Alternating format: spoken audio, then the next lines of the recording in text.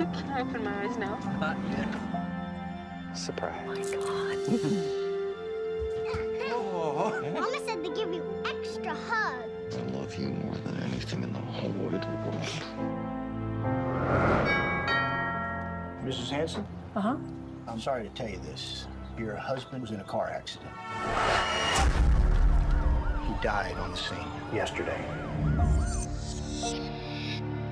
Tomorrow we should probably start thinking about funeral arrangements. Mom, I'm not ready for that. Nobody's ready for anything like this, honey.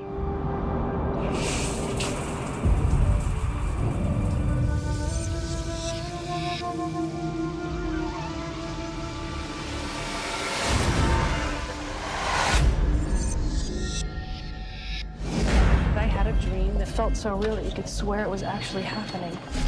It was only a dream. Everything's gonna be fine. We fell asleep together yesterday. He was right next to me. Linda, Jim is gone. I wake up and he's dead. I wake up and he's alive. Obviously, you're dealing with some inconsistencies. I wake up every morning to find my husband has died again. I think that goes just a little beyond inconsistent. How do you know my husband? Just thought that after we talked, we talked. We were here yesterday. I've never met you before in my life. The husband was in a fatal car crash on Wednesday. That's strange. He showed up in my office on Tuesday, claiming he was already dead. He said he was going to die before the accident. Yeah. Oh, God.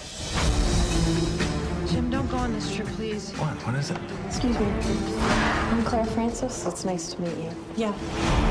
Something bad is gonna happen. It's never too late to fight for what's important in your life. Fight for. Sandra Bullock.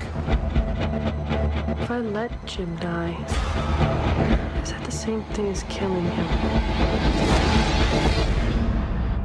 Honey, Jim's already dead.